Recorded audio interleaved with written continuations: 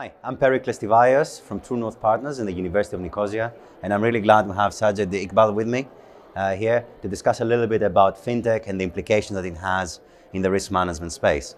Yeah, sure. Thank you, and uh, thank you for inviting me and uh, allowing me to have conversation with you. So regarding uh, fintech and risk management, I think a lot of things are happening uh, in the space, and we we have seen a lot of uh, quantitative models uh, coming through fintech, and they are designing new solutions as well. And the new technology is really impacting the way we are working.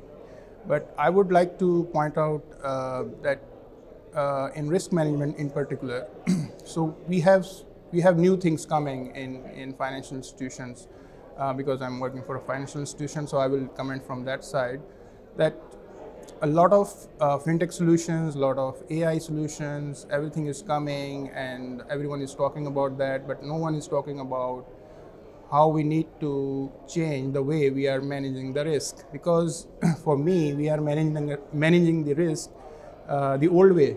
I mean, what we have learned in, in, the, in the academics and through the books, that there are certain quantitative models we have to follow, we need to measure certain way. So, I mean, with the advancement, uh, we also need to advance, not in terms of technology, but in terms of the way we are thinking and where we are perceiving the risk, that how risk can be managed more efficiently. And the way to do this is to put more uh, focus on, uh, on, on understanding the risk, rather computing the risk and presenting it. Because I have seen that people are presenting the boxes red, blue, yellow colors, and a lot of color, a lot of boxes, a lot of uh, data, but even a few of them cannot, I mean, only few of them can make sense of it, out of it, but a lot of people are just presenting the data and they cannot make sense out of it from a risk management point. They cannot give uh, one true statement to the management that what is the risk, and they're just presenting whole lot, lot bunch of matrices yeah. and other things. Yeah. So so we have to rethink the way we thinking about risk management. What about getting the people to change the way they're thinking about risk management? Yeah, that's very important actually. And I believe uh, because we have a problem, we have a people problem, uh, not in a sense that we don't have, uh, because we don't have a qualified people. There are certain uh, number of people who are doing that, but we are not training enough. I mean, we have, we are hiring people based on certain qualifications. That's okay but then we need to teach them how to take the risk, rather how to manage the risk. Because until unless they are not understanding that how risk is occurring and what kind of a risk uh, taking is happening, and they cannot manage it. I mean, they can just produce the numbers, but to to make it effective and the way we are moving towards the new things and new uncertain things are coming, I think it's very essential for the companies to train their staff. And one more important point, uh, whenever there is a new thing coming, we are just searching for the new people. If there is a new, like we have discovered, discussed about the crypto, we have discussed about the ESG.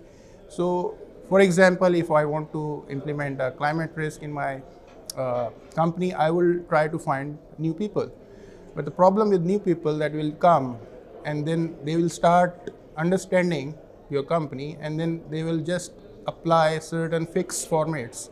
And that is not the risk management. Risk management is you need to invest on your existing people who know what you are doing and then try to train them how to manage risk and how to see the risk in different perspectives. We, we're moving to a, a, world that is uh, risk management is fintech enabled, but there's new risks that are coming from there as well. And obviously, we have to think of risks differently.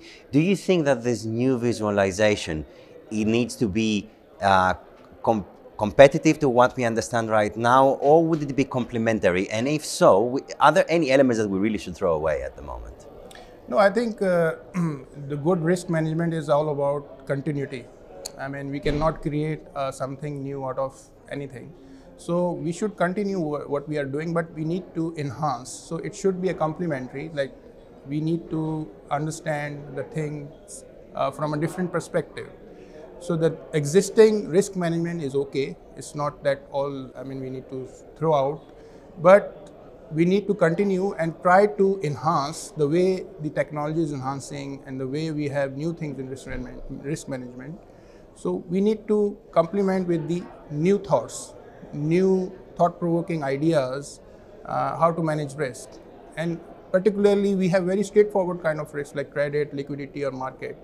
But we have we have another kind of risk which is operational risk, which requires a lot of lot of new ways to handle.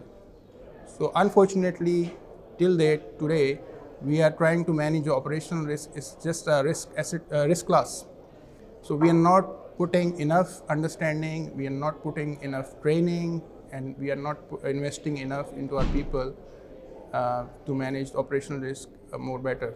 Yeah. We are just treating it like Because just like history, risk may not always repeat itself, but it often rhymes. yeah